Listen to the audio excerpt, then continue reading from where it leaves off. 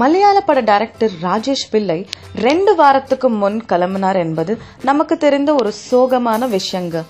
அவர் மறைவுக்கு காரணம் அவரோட உணவு பழக்கம்தான் காரணம்னு அவர் நண்பரோட கருத்து எல்லாரும் மறுத்தாங்க. ஆனா நடிகர் கமல்ஹாசன் அவர் மறைவுக்கு அவர்தான் உணவு பழக்கம்தான் காரணம்னு